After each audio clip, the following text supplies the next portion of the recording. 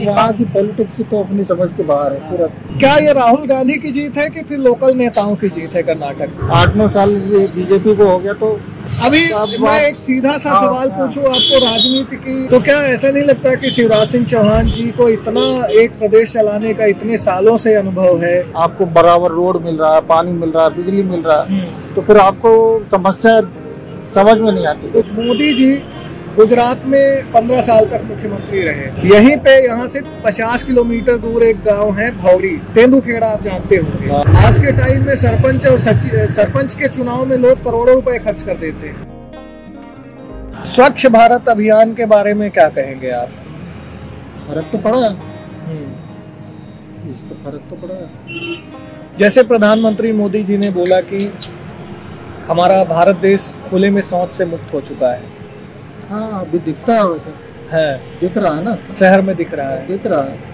कि पहले जगह जगह कचड़े के ढेर थे।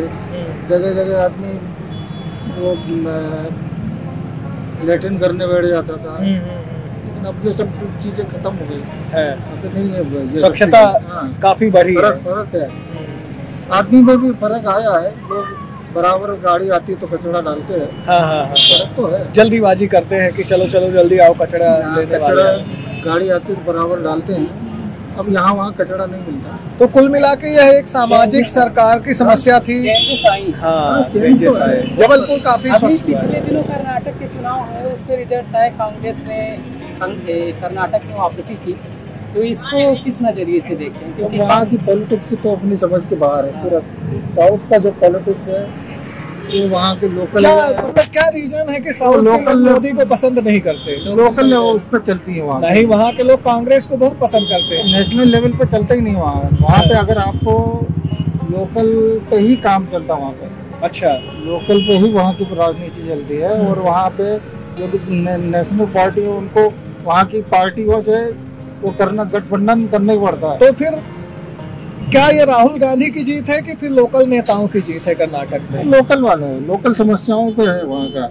वहाँ तो की पूरी राहुल गांधी को एक विनर के तौर पे प्रेजेंट किया जा रहा है फिर मतलब ऐसा किया जा रहा है कि जैसे राहुल गांधी ने कोई मतलब इतना भयंकर तीर मारा हो कि अब प्रधानमंत्री बनने की होड़ में आ गए नहीं बोल सकते क्योंकि वो भी एक कैंडिडेट ही है।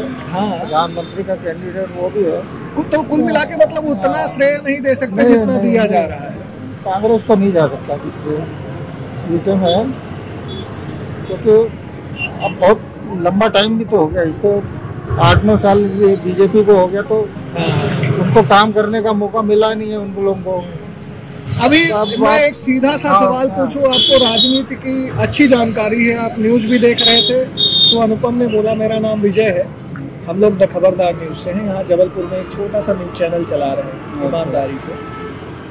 तो अनुपम ने देखा आप न्यूज़ देख रहे थे तो अनुपम ने कहा कि इनसे बात करते हैं इनको है कुछ है मतलब इनसे हमको कुछ सीखने को मिलेगा।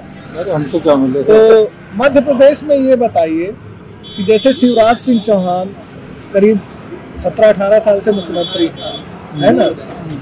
अठारह साल यदि आदमी वही काम दिन रात करता है तो काफ़ी अनुभव हो जाता है फिर वो काम उसके लिए बहुत छोटा हो जाता है। क्या होता है कि क्या है बहुत से काम तो ऐसे हो चुके हैं। है। अब वो काम करने का कोई नया काम दिखे तो समझ में आए। है। अब रूटीन में वही काम कर रहा है तो वो आपको काम नहीं समझ में आएगा। तो क्या ऐसा नहीं लगता कि जैसे सबकी पदोन्नति होती है जब हम काम करते हैं हमको एक्सपीरियंस होता है हमको प्रमोशन मिलता है तो क्या ऐसा नहीं लगता कि शिवराज सिंह चौहान जी को इतना एक प्रदेश चलाने का इतने सालों से अनुभव है? एक बीमारी बीमारू राज्य को प्रगतिशील राज्य की तरफ़ राज्य तक पहुँचाने की है आज के टाइम में मध्य प्रदेश किसी भी प्रदेश से कम नहीं है। उसमें शिवराज सिंह चौहान जी का बहुत बड़ा है हाथ रहा उसमें। अब क्योंकि वो बहुत अच्छा नहीं कर पा रहे क्योंकि लोकल लेवल की पॉलिटिक्स और पॉलिटिक्स थोड़ा गड़बड़ हो गए क्या होगा जब चीज़ें सब हो जाती हैं आपको बराबर रोड मिल रहा है पानी मिल रहा है बिजली मिल रहा है हम्म। तो फिर आपको समस्या समझ में नहीं आती। तो जैसे देखिए तो मोदी जी सब चीज़ें मोदी मिल रही तो अब वो कर भी रहे होंगे तो उनकी वो देखिए जैसे मोदी जी गुजरात में पंद्रह साल तक मुख्यमंत्री रहे है ना? फिर उसके बाद उन- उन्होंने प्रमोशन लिया प्रधानमंत्री के लिए उन्होंने कंटेस्ट किया जीते और वहाँ पे एक ऐसे आदमी को बिठा दिया जिसको मुख्यमंत्री का कोई अनुभव नहीं था बस वो बिलिंग थी वो ईमानदारी थी।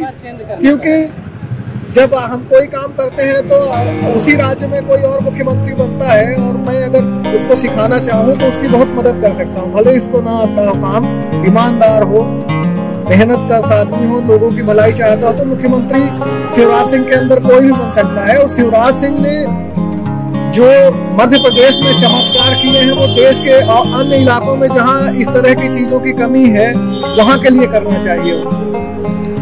तो उनको कोई केंद्र सरकार से कोई बड़ा पोर्टफोलियो मिलना चाहिए और यहाँ चेहरा बदलना चाहिए आम पब्लिक के लिए जो जो सुविधाएँ चाहिए वो सेंट्रल से हुआ जा रहा है है। कुछ स्टेट ने कर दिया है, तो अब सब जब समस्याएँ आगे समझ में नहीं आती फिर ऐसे लगता है कि यार काम नहीं कर रहा है। अभी देखिए जैसे मैं आपको बता रहा हूँ समस्याएँ क्या है। हम लोग तो ग्राउंड लेवल पे हाँ। रिपोर्टिंग करते हैं। हम्म, ठीक है?